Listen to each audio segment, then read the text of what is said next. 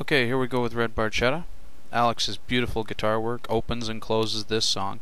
Sandwiched between is six minutes of it, my estimation, some of Neil's most tasteful and in some cases most difficult, in terms of feeling, drumming from moving pictures.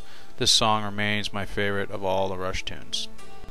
One of the keys to this song is to be able to play a nice smooth three note pattern with your left hand while opening and closing the hi-hat. I think the reason Neil chose to play it this way is A, he could, and B, it opened up his right hand to play the cymbal hits.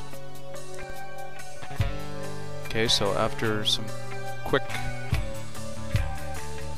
ride cymbal patterns, it immediately leads into a slow right hand ride pattern with simple sounding kick pattern. At this point I'm concentrating on hitting the second kick of each pair simultaneously with the ride. And then there's this solo with your left hand. So after this, um, there's some more hi-hat with the left hand and three phrases of fills, each more complicated. Typical Neil. Then well-placed crashes leading into a fast ride cymbal pattern notice the hi-hat is closing at little places in between.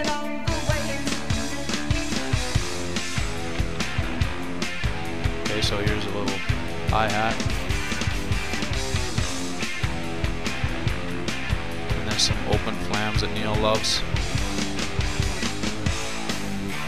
Okay, so now this leads into another section where you're playing slow eighth notes on the hi-hat and multiple kicks, threes and twos underneath. First phrase we have three, then the second, only two, and then in the third three again. This part is ended with the first of the numerous flam kick combinations I've termed chugga chugga, right there. More on that later in the song. So now we have a bunch of fills that are an uncomplicated version of the section near the end. This chase just needs to be memorized and played up to the stop. Again, like always, make sure to get a good sense of time in this part so you can count the pause and come back into the song with the other two musicians. Of course, this next section is just a simple beat, a little bit of breathing room. It builds up to some carefully placed singles and flams on the snare.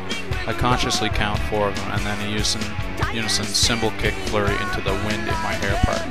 And again, it is very important to count, because if you come in early, the two-hand part will suck. I try not to open the hi-hat with the kicks, but sort of loosen it a little bit, just to add a little emphasis on Alex's guitar strumming. Now, when we lead into the adrenaline surge part, this begins a long series of rolls that, again, you just have to memorize and play through as it builds. When I have to do this sort of thing, I'm just thinking of patterns. For instance, the last roll, I just think 6 on the first, then hit 2 on each of the successive toms. I'm not necessarily counting to 10, I'm just playing patterns all the way through this period.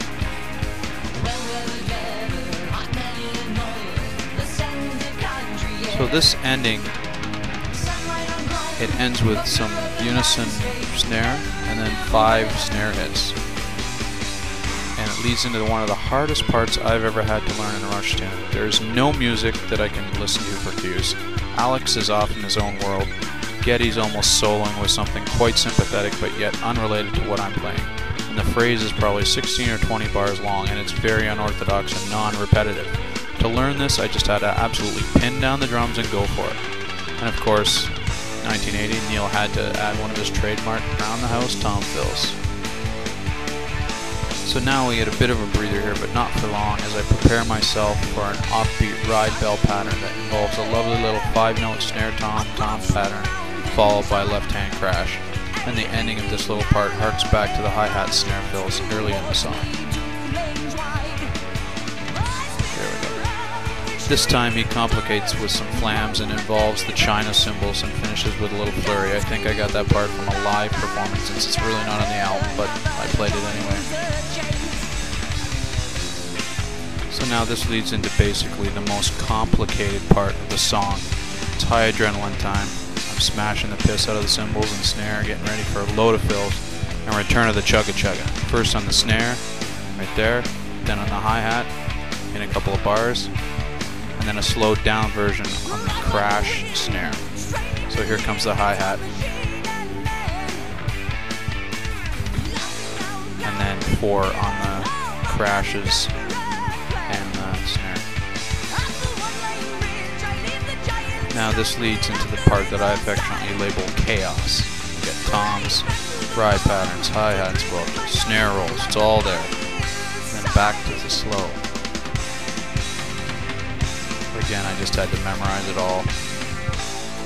Back to my left hand. From chaos to beauty. A little bit of independence needed there to keep my left hand doing the same thing and soloing with my right half. Again, little grace notes, hi-hat, beautiful. From here on, there's only one challenge, getting the three note fill right.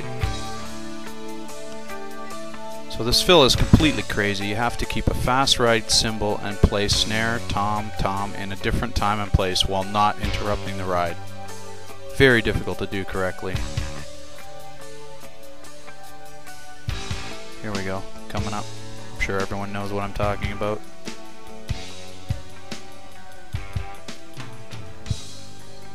So there you have it. This song has it all.